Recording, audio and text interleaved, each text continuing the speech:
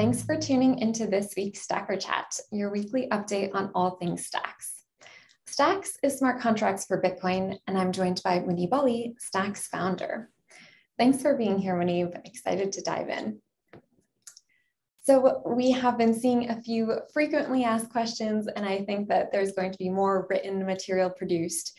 But one of the things that has come up um, on Twitter and elsewhere is why does Stacks really need a gas token? Can you share more details there?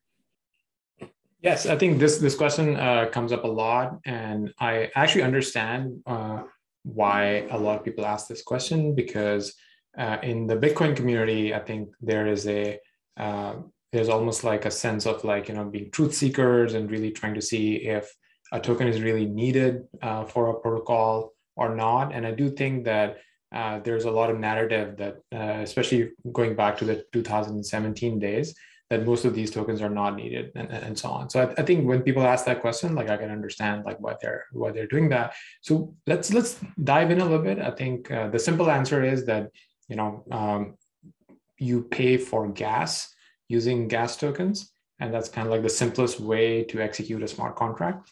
Most kind of like modern smart contract systems be it Ethereum or like Solana, Algorand, Avalanche, any any modern smart contract platform, you notice that people are paying gas uh, to execute smart contracts. Like that's like people are not going to do computations for free for you, right? Like you have to pay them the fee in some way. But I think it's it's good to like dive a little bit deeper into the the different design cho- choices that that you could have.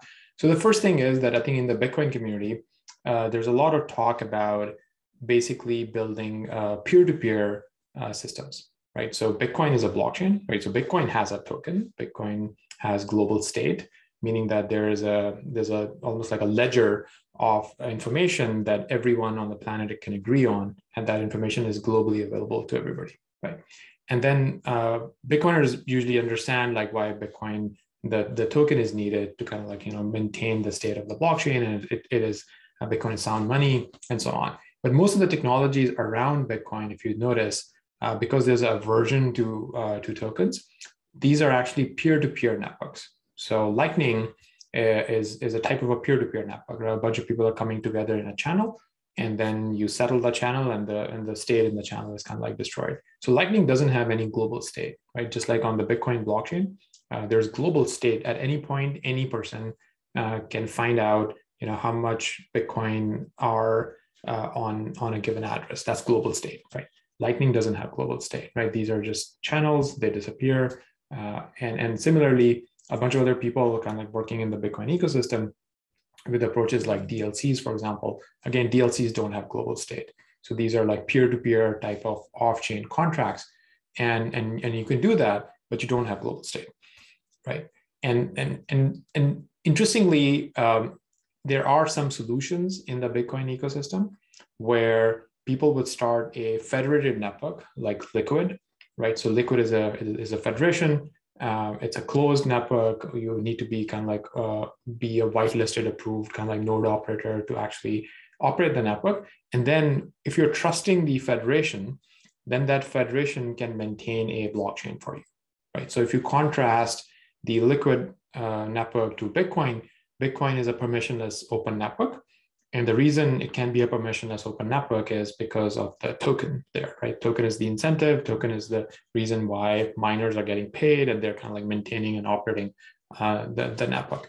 On, in the case of Liquid, uh, you're trusting a federation that whatever economic reasons the federation might have, they are they're kind of like maintaining the state of the ledger, the, the global state.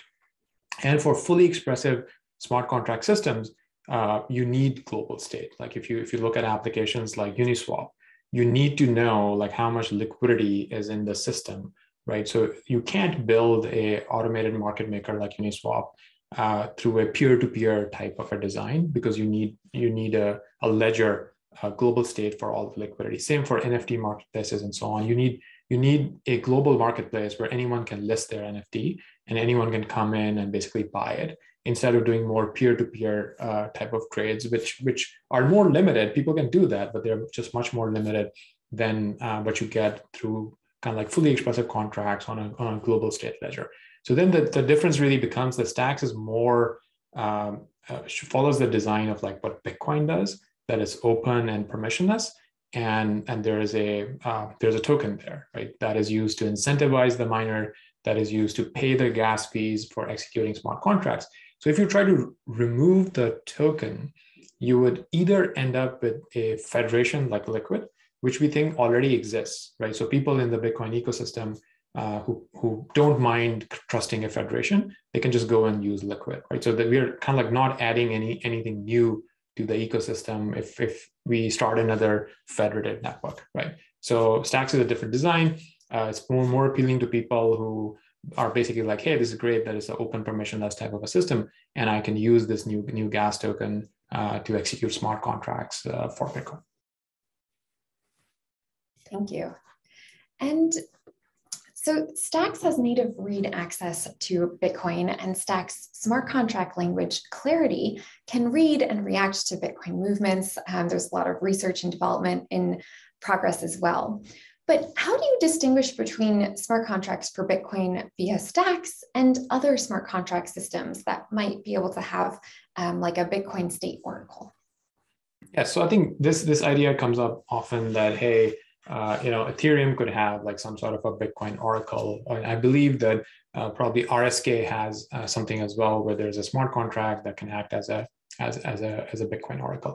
So there, there are a few uh, technical differences here, but I think there are also differences in uh, how tightly we want stacks to be integrated with Bitcoin, because this, this idea of like being able to read Bitcoin state is just like one of several things that we do to truly like tightly integrate uh, the Bitcoin layer and, and the stacks layer. So one of the benefits with by doing that uh, the, the, way the stacks is implemented is that all the stacks full nodes are effectively uh, like anyone who's running a stacks full node uh, can get full visibility into the Bitcoin state as well. Like it's it's it's a it's a little bit like you you're you're getting um, you're all of the smart contracts are getting that functionality natively by uh, by default kind of like built in yes, I think there is uh, actually more clarity features that need to be built out, but that's a programming language feature set type of issue. As far as uh, the ability to read uh, Bitcoin state is there, that's like by default available everywhere.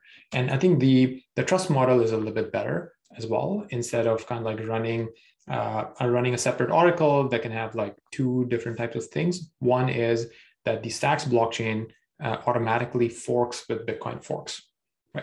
So if there is a Bitcoin fork, uh, Bitcoin is a source of truth for stacks.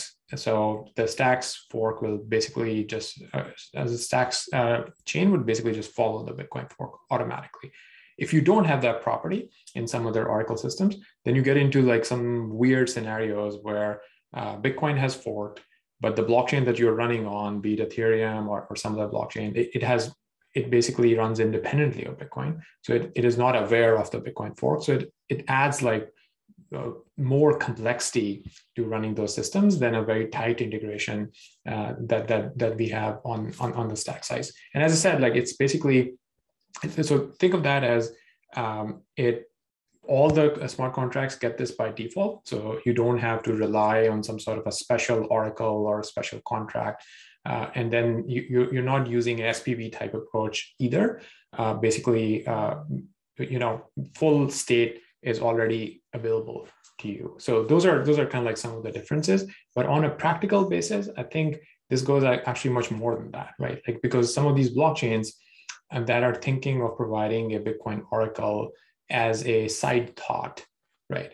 They're never going to spend enough time and energy on the type of developer tooling and really tight integrations to enable uh, true kind of like you know bitcoin uh, integrations. And i think stacks like so it's not just about kind of like the technical differences. I do think there is a difference of culture as well.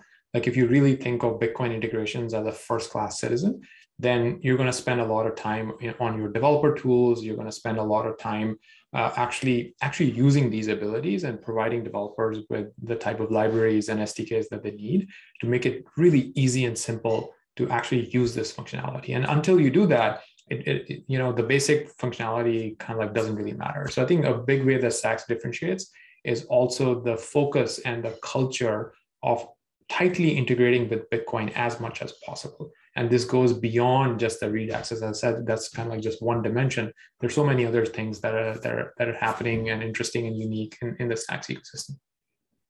Great, thank you. Now, there was a tweet um, by Zaki Manian, I think, in response to something that you had said that that really caught my attention. And basically, there was this notion that there were, you know, some good ideas for building on Bitcoin in the past, but that they shelved them because he didn't think that Bitcoiners would like degen into these protocols. And so, I'm curious, what's your take on that? Yeah, I think for, for people who are not familiar with him, is one of the uh, Cosmos founders and has done done a bunch of work in, in a lot of different protocols. And interestingly, I do think that people might have that image, but I don't think the data actually backs that up because um, if you if you look at surveys of people who hold Bitcoin, uh, we time and time again we would see that people who hold Bitcoin actually hold other assets as well. And this was actually like a common thing uh, pre 2017 era where Bitcoiners would even publicly uh, kind of kind of like you know say things like hey I, I own like 70 80 90 percent bitcoin and uh, i hold other assets as well. I think it's the the post 2017 era where bitcoin uh, maxi revolution has actually uh, in many ways like you know uh, they're they're policing uh, what people can say or, or do. So what ends up happening is that people do whatever they want to do privately they just don't talk about it publicly. Like the amount of Bitcoiners that have privately told me that they hold, uh, you know, alternate assets. They have been trading kind of like other L1s. They've been trading other DeFi protocols, but on their public Twitter, they would never ever mention anything like that right? So this is actually like fascinating because if you do uh, there's a there's a little bit of a religious cult type uh, thing going on on the on the on the far side of bitcoin maximalism and people just don't want to deal with that headache. So so i think the actual holdings of bitcoiners uh, it might be quite different from the popular narrative that you might hear on Twitter. And there are many data points to, to actually prove that as well. And I think I think the amount of interest that Stacks is getting itself is a data point, right? Like I think more than 30,000 people have registered their .BTC names. Uh, we're seeing people are deploying capital into new DeFi protocols, and that's that's Stacks is an ecosystem where it's the most natural for Bitcoiners to experiment with other things. But uh, just from my, my personal experience, knowing a lot of like OG Bitcoiners, uh, a lot of them already do this, and it's I think the the narrative might be very loud, but it's it's not um, it's not based in reality. Great, thank you. Now, I'm curious about, you know, you are interfacing with the Stacks ecosystem every day. What projects or news, what things are standing out uh, that are firing you up this week? Yeah, this is this is amazing. I definitely think that our ecosystem has crossed some sort of a tipping point where uh, like you can't keep up with so many interesting things that, that are going on. And every now and then i'll see like some some uh, amazing new thing come up. Uh, i think just a couple of days i saw that uh, LNSwap has made some more progress where you could do a end-to-end full swap between uh, non-custodial lightning and nfts and uh, and no kind of like you know STX uh, was involved explicitly in the entire trade, which is very interesting, right? So this this let me connect this back to the original discussion about you know why the Stacks gas token is needed. Uh, I think even some of the more uh, you know extreme maximalist uh, type uh, Bitcoiners, even they would say that hey, maybe a gas token is okay if it's quote unquote like just in time. I think I think uh, Adam Back um, had some some uh, tweets like that as well. That maybe a gas token is okay if you just buy gas when you need it and then you just spend it, right? Um, so so Bitcoiners can view stacks uh, as that uh, if they want to, right? If anything, there can be uh, tooling available or wallets available that uh, basically make it easier for them to use the stacks network where it's just in time gas meaning that you can hold Bitcoin. You can, it will, to you, it will feel like you're paying the gas fees in Bitcoin. And at that point, it doesn't matter to you, right? Like you would have paid the gas fee on the, on the main uh, Bitcoin network where it's not scalable to do so, or you're basically paying the gas fee in BTC and in the background, it gets converted into something else and, and gets paid actually on the Stacks network. And, and that's the kind of experience that LNSwap was, was doing as well, right? Like at some point, you know, uh, when you're interfacing and you're doing a swap on the Stacks chain, and a smart contract is being executed, sure, someone is paying the STX fee, but you don't see it, right? Like, and you don't have to explicitly go and acquire stacks or hold it if you don't want to, right? And I, I do think that uh, that lens is actually important for Bitcoiners, where they tend to be very skeptical of new projects. And if you tell them that, look, you actually don't even need to hold STX to use the network, you can just hold the Bitcoin and pay the gas fee through your interface uh, in Bitcoin whenever you want to. They they actually uh, then open up more to the to the protocol and they want to learn more about it and so on. So I think I think that that LNSwap uh, was was pretty interesting to see. And I think just uh, uh, this week we have seen the Magic Bridge come up again on the same lines. It basically makes the UX really really easy for Bitcoiners, where all you need is a Bitcoin address. You send Bitcoin uh, to that address, and magically the Bitcoin gets used in a application that's built on Stacks right? So the magic bridge is kind of like uh, taking care of the underlying details of how it's getting swapped into XBTC or how it's actually getting deployed into some of the smart contracts. But from a UX perspective or as a Bitcoiner, you don't care about it, right? So the magic bridge is another way of uh, doing this tight integration with Bitcoin and, and giving this uh, uh, this experience to users where they just need to hold Bitcoin and and and can, can participate in so many different applications.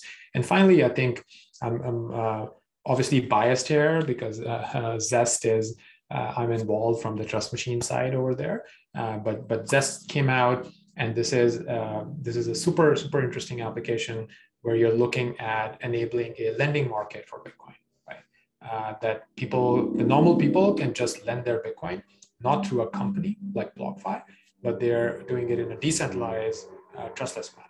And I think uh, so. Some of the details, I think I would highly encourage people to go and actually look at how the protocol is doing it or what direction is going in right now. It's a very large market, and right now Zest is exploring like one particular kind of like sub uh, area of the of the lending market. And I think the work that some of the people are doing is, is super interesting.